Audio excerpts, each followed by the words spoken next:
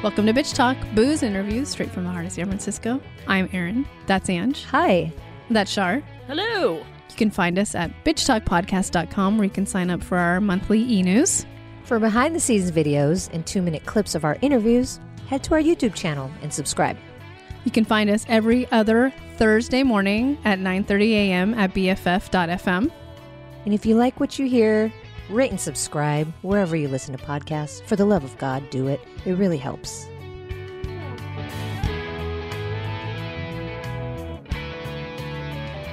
I'm going to start this off in uh, just welcoming Brianna Noble to the podcast. Um, may have seen Brianna back in June on uh, horseback during the Black Lives Matter protest in Oakland. Um, I know that's where I saw you for the first time, and um, that photo for me, I think, changed the narrative of the entire movement. Brianna, I was I was sitting in my um, I think I was sitting trying to work, but also paying attention to what the hell's going on uh, outside of my four walls. And I saw your picture just splash over my social media feed, and I'm like, okay, this is this is different. This is uh, a different movement to me, and I um, want to know your feelings going into that day and and into that protest with your beautiful horse, Dapper Dan. Well, you know, um, I don't think that I was any different than any of the other protesters, honestly. Um, I think a lot of people were there because they felt strongly. And so that's exactly why I showed up because I felt strongly about the issue at hand. I mean, um, I grew up in downtown Oakland at Oakland School for the Arts for high school. And I just remembered my freshman year of high school and everything that was going on with Oscar Grant. And I was really down there for for a lot of that, you know, and I'd thrown youth town halls and stuff where we talked about police brutality and everything. And as I sat there the night before the protest in bed with my husband, I went, oh crap, you know, like things are exactly the same as when I was a freshman in high school talking about this exact same issue. This is literally repeating over again. And so that's what really motivated me to to get up and do something, you know? And it just seems like nothing I had ever done in the past to try to influence um, and impact a positive change in my community had worked. I'm like, I did spoken word, I did, you know, um, putting on those sorts of youth town hall forms. Nothing worked.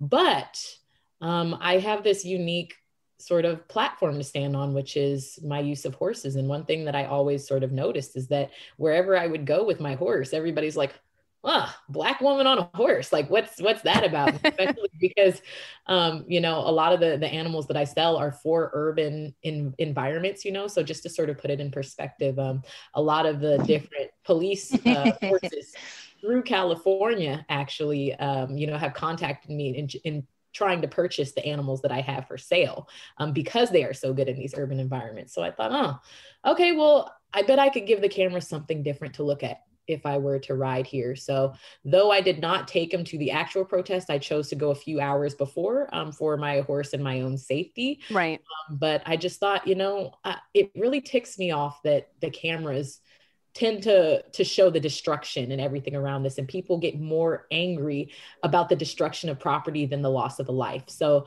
i said you know what? Maybe i can help to change that narrative a little bit so they're not going to look at those smashed windows. They're going to say hey look that was a random woman on a horse that was really pissed off about what was going on and that's exactly what it did but i just i had absolutely no idea that it would get so broad spread and and and make as big of an impact as it did yeah, I, I, love it, and and I think that it just added a new sort of level of strength and empowerment uh, like you said, because it's something that we don't see every day. And I think that that's a, a, been a major positive of this movement is that it's opening people's eyes to just so many new possibilities and and so many different ways to find strength. So, but I did notice there were a lot of judgments. Like as you said, you train your horse, your horses. Dapper Dan especially was ready for this moment. Uh, but a lot of people are like, you're not supposed to bring horses to protests and things like that, but they know nothing about your past. So I, I, would love to hear about your history with horses and what led you to that moment. Yeah. Um, so first of all, I, I always like to tell people that I don't actually advocate for bringing your horse to a protest. So, as I said, the protest started. I think it was slated to start at about eight thirty or nine o'clock that night, and so I was there. I hauled into Lake Merritt, and I mm. rode my horse over from Lake Merritt at about six o'clock that afternoon. So, um, when I went, it actually was not a fairly large group of people. You know, um, it was a lot of families, people with children that were protesting, that sort of thing. Um, so I did that because um, not only my safety, my animal safety, but the public safety um, is at the forefront of my mind as well. Um, so, in terms of what I do, you know, I make my living and profession um, um, in the horse world. So it is not out of the realm of character for me to ride a horse down the street. So if um, any Oakland natives have seen us in the past, we actually walked the exact same route in the Black Joy Parade, which mm, was, right. you mm. know, uh, when you talk about it had probably i mean thousands of more people um, than than anything like this you know? So i train my animals specifically um, to be safe in these urban environments you know? So um, i'm kind of have this unique niche and um, I, I, train and sell horses so that they are safe to ride and that sort of thing.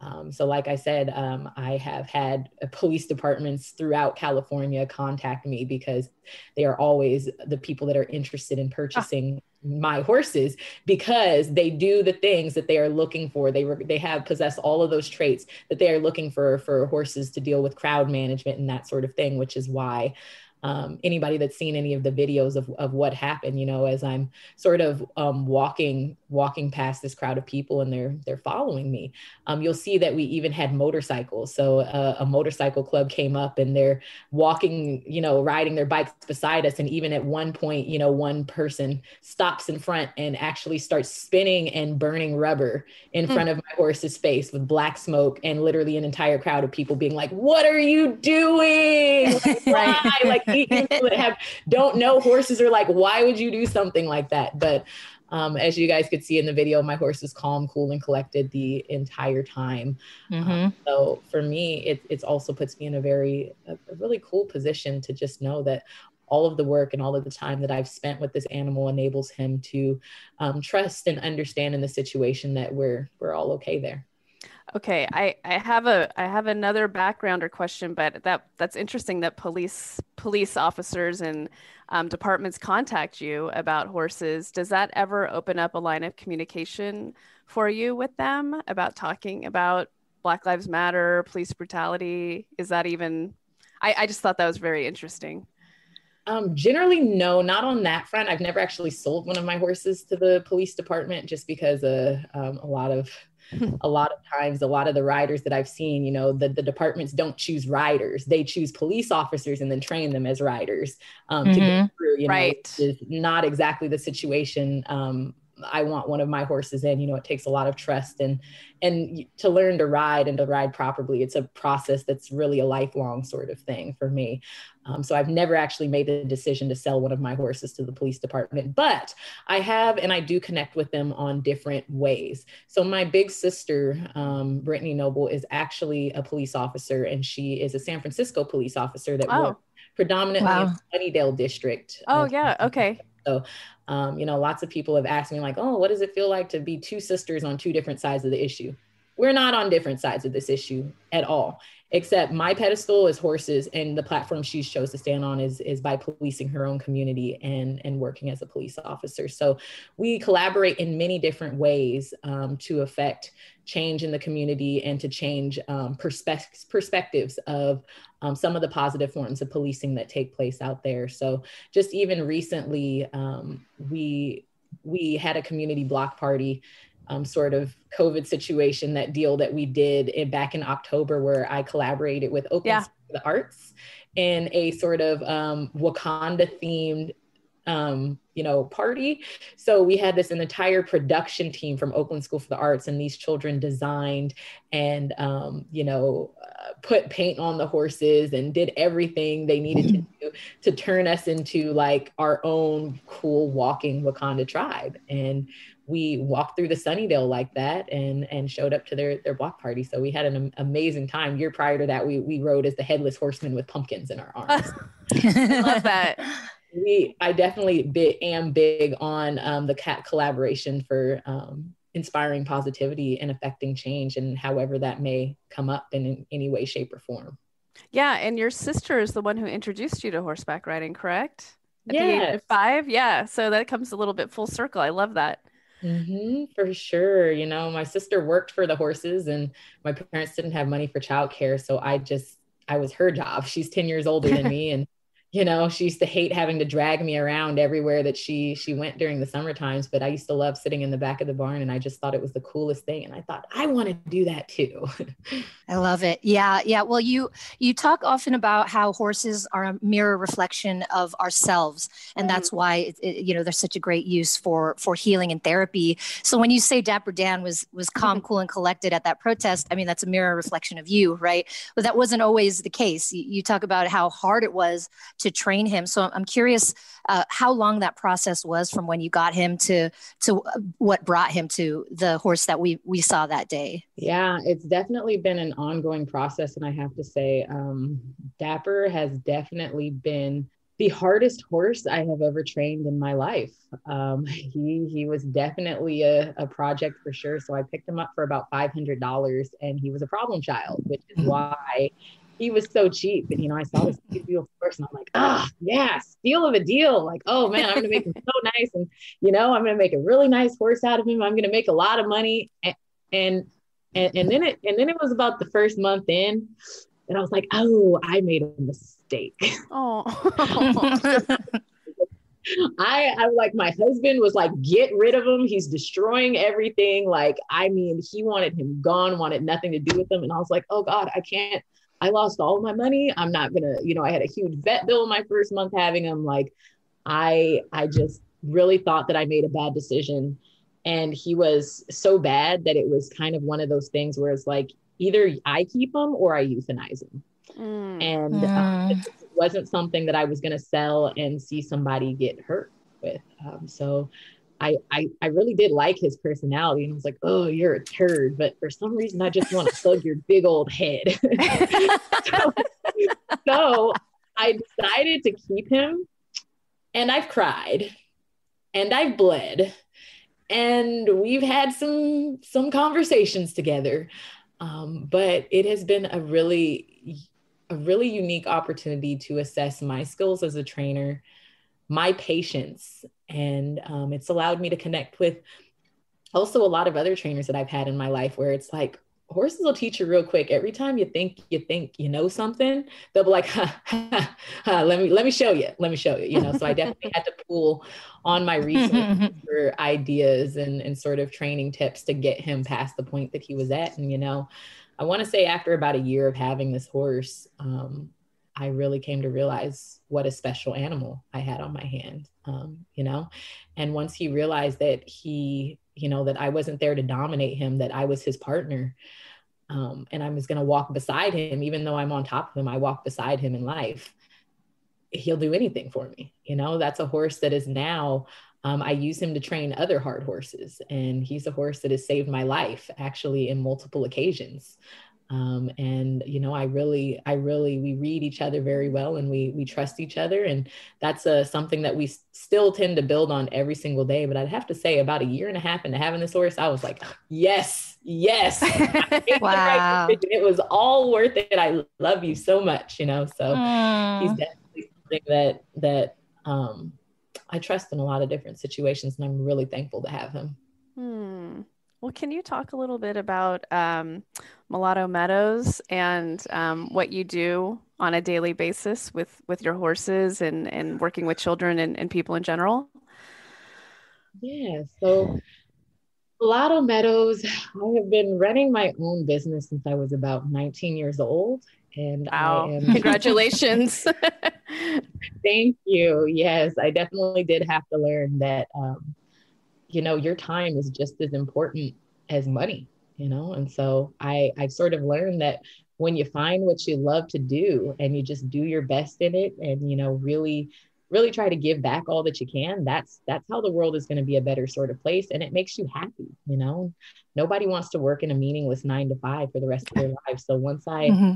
i really sort of made that jump from my job as a veterinary technician into saying hey no i'm gonna i'm gonna follow my passion and things really just started to started to rev up from there. So um, a lot of what I normally do is, like I said, I, I colt start. So I made my living for years and going out and finding either wild horses, feral horses, or just you know things that nobody really wants, haven't been handled, and I turn them into horses like Dapper Dan, uh, where they're really really useful animals. They can have you know a 20 year life with a family, and I sell them, and that's how I make my living. I've always taught on the side of that. Um, and, you know, I've always had this plan for our project that we call Humble. Um, and Humble is something that I did because there were no other really there's not too many people that are in the equestrian sports that look like me it's very expensive if you're not affluent yes. you don't really have mm-hmm. access to it so during the summertime um, because i i love kids so much i always ran a for-profit summer camp and we'd have so much fun and do cowboy campouts and learn lots. And usually at the end of that summer camp, I will have accumulated enough money where I could use some of that money to give back. So my last session of the summer would be to work with another organization, bring in a group of kids into that country environment and really give them the same experience that those for-profit kids um, you know, had. So um, Humble is something that I've, I've been working to build over the last couple of years. It's something that I really always funded out of my own pocket.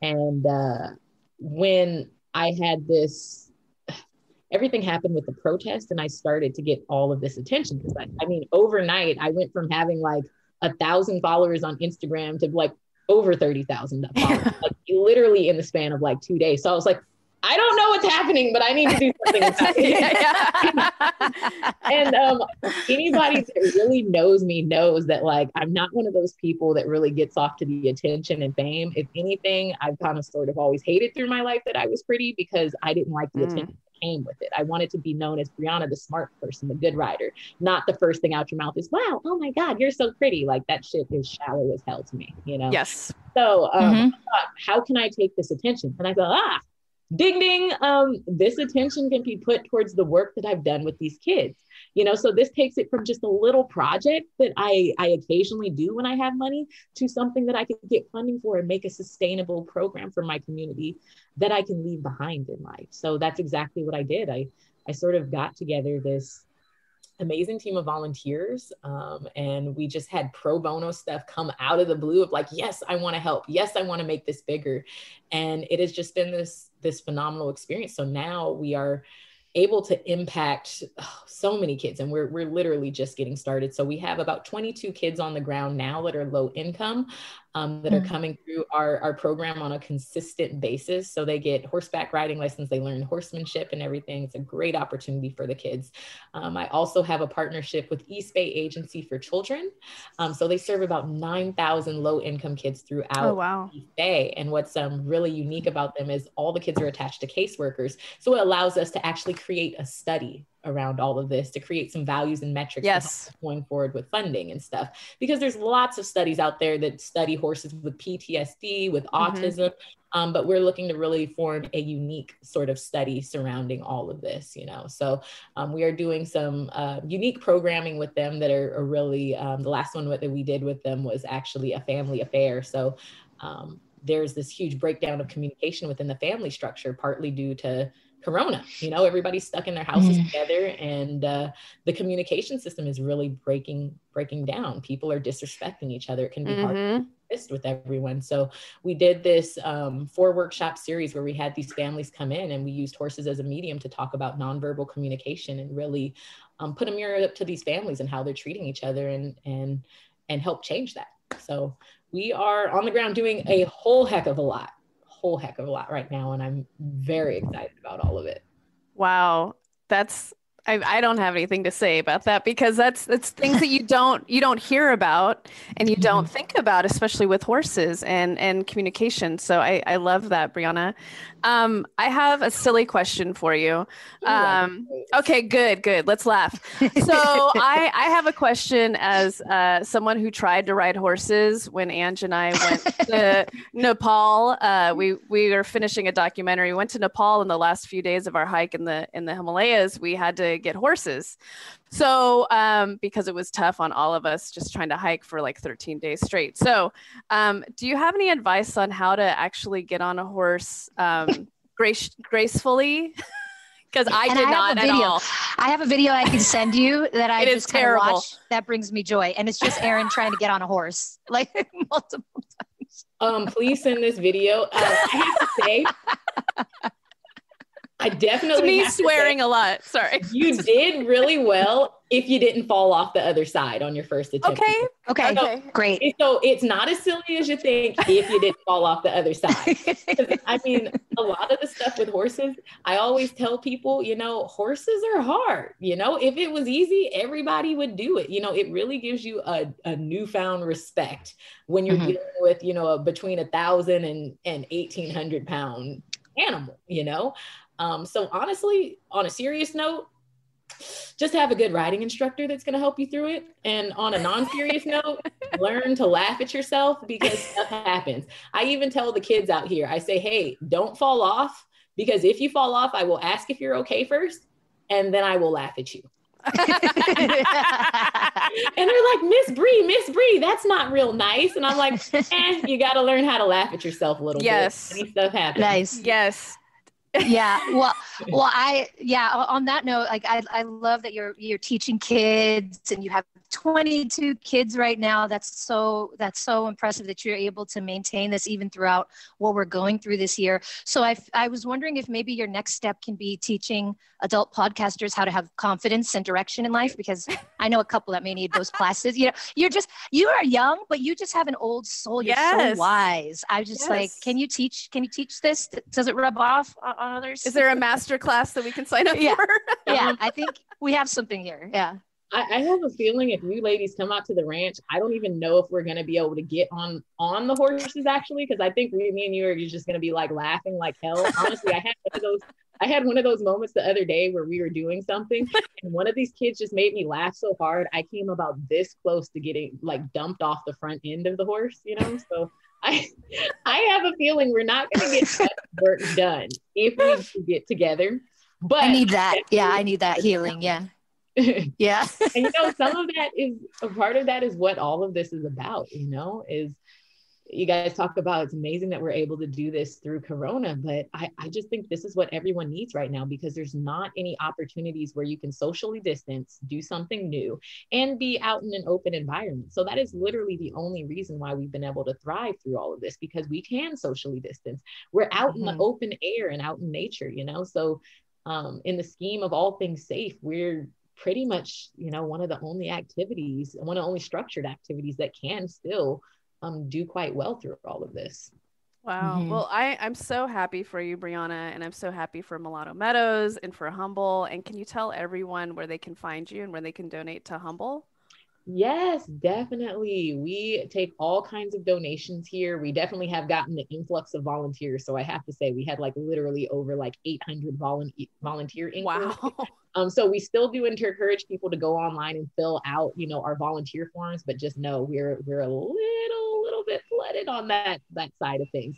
Um, monetary wise, we can always use donations for these kids. You know, this everybody and their funding and their donations are what makes this go around. So if you'd like to donate, um, you can visit our website at www.mulattomeadows.com slash humble and you can find all the different ways that you can um, donate there. Um, we also, um, this has really been made possible by different professionals that have come on board to help pro bono. So, for instance, we had like one of the largest nonprofit law firms, like our first two weeks, be like, "We're going to donate our services to you pro bono to help get you started."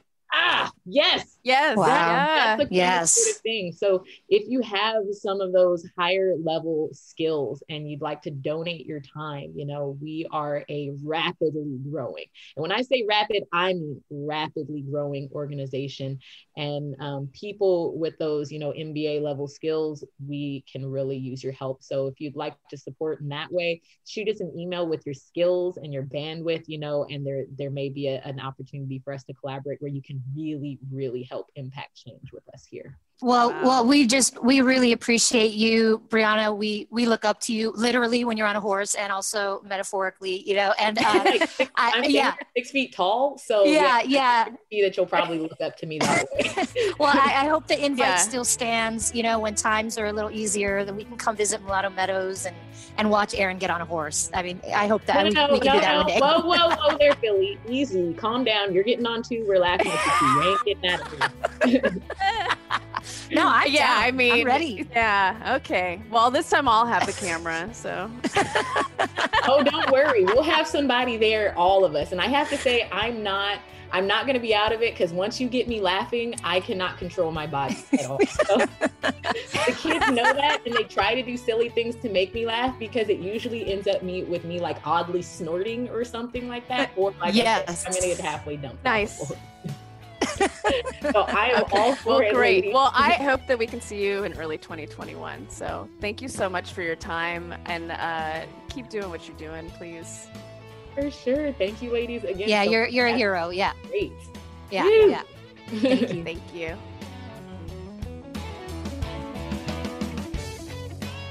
If you like what you hear, rate and subscribe wherever you listen to podcasts. For more information about us, you can head to bitchtalkpodcast.com. This podcast is created, hosted, and executive produced by Erin Lim. My co host is Angela Tabora, aka Captain Party. The show's edited by producer Shar. We're powered by GoTo Productions.